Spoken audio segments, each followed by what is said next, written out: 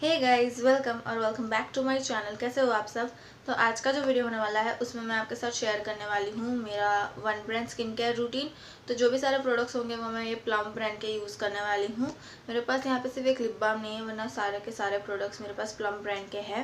So one brand start करने से पहले अगर आप मेरे चैनल पर नए आए हैं तो मेरे चैनल को सब्सक्राइब कर देना. उसके बाद में जो बेल लाइकन है उसे भेंट कर दीजिएगा so that you will be notified whenever I upload a new video so without any further you तो ये जो सारे प्रोडक्ट्स है ना वो मैंने स्मिटन करके जो ऐप है ना वहाँ से लिए थे. ये सारे के सारे ट्रायल पॉइंट्स में से लिए हैं मैंने।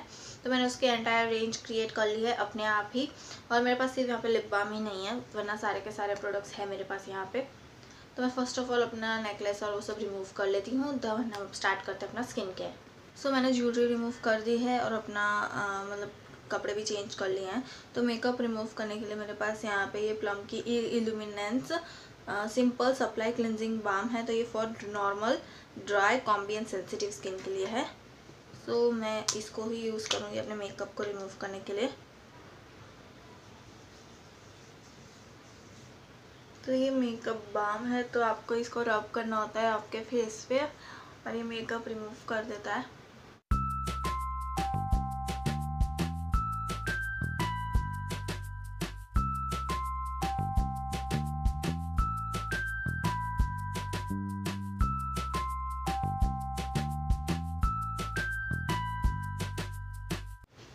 तो मैं अब एक टिश्यू पेपर ले रही हूँ तो आप देख सकते हैं कि ये एकदम क्लीन टिश्यू पेपर है।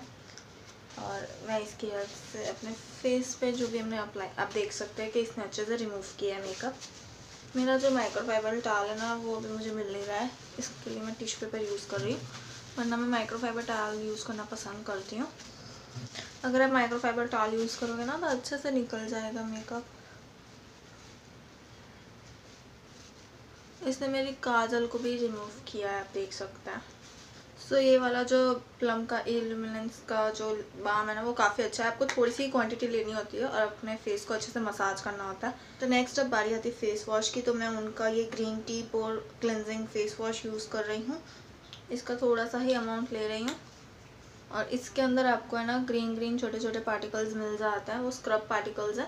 पर वो ज़्यादा अफेक्ट नहीं करते और मैं और हल्के हाथों से अपने फेस में रब करूँगी।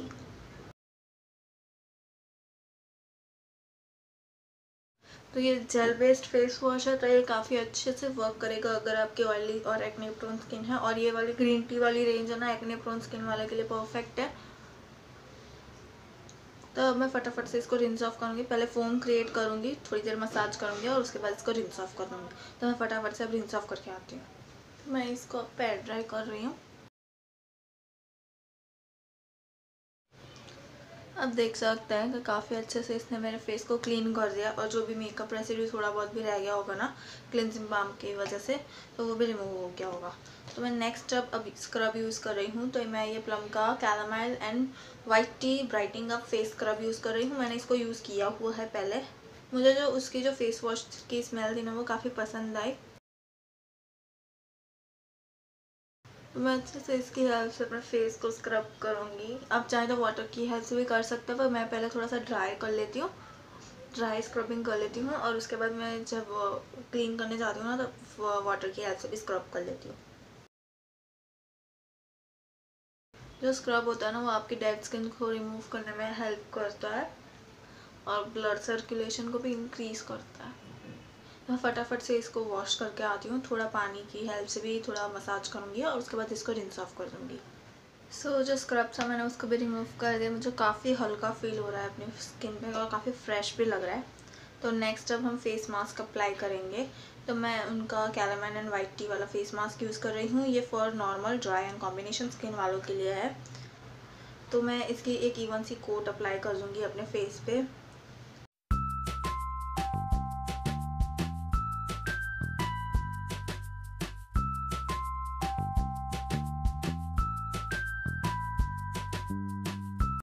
सो मैं इसको सूखने दूँगी around ten minutes ten minutes के पहले ये सूख जाता है.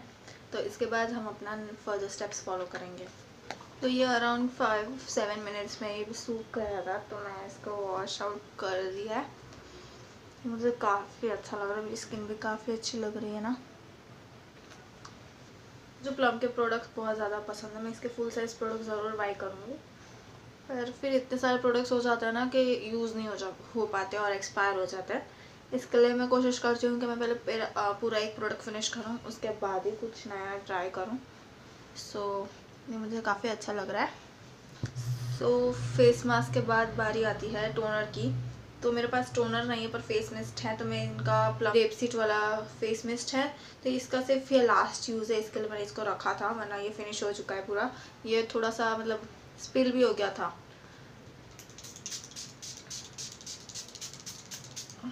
इसकी जो फ्रेगरेंस है ना वो काफ़ी अच्छी है।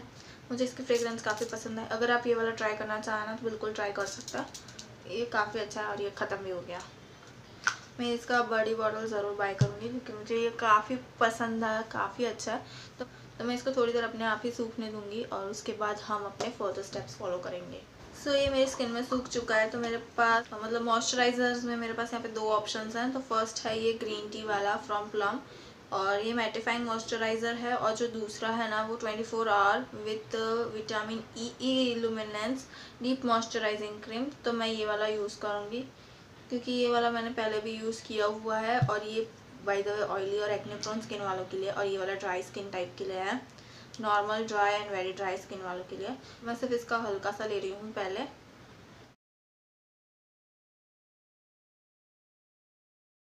इसका एक ड्रॉप पे इनफ है क्योंकि एक्सट्रीमली हाइड्रेटिंग क्रीम है।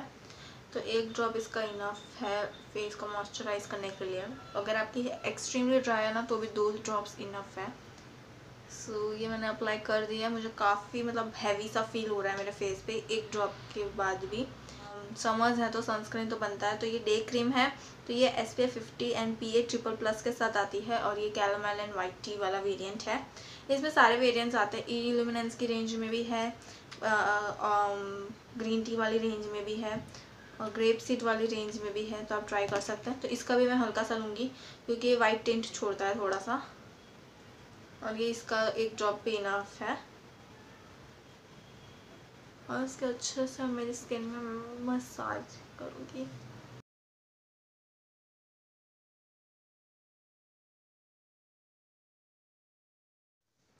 सो या गाइज़ आई एम डन तो मेरे पास कोई भी लिप बाम नहीं है तो मैं अब यहीं पे स्टॉप करूँगी। तो अगर आपको कोई भी फ्यूचर में सेम कॉन्सेप्ट के वीडियोस देखने हैं तो मुझे आप कमेंट सेक्शन में बता दीजिएगा कि आपको कौन से ब्रांड का देखना है।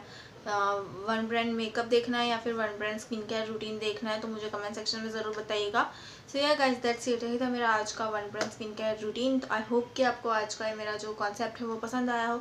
अगर कब पसंद आया हो तो make sure to hit the like button subscribe to my channel मिलती हूँ मैं आपको अपने अगले वीडियो में। तब तक के लिए bye stay tuned stay blessed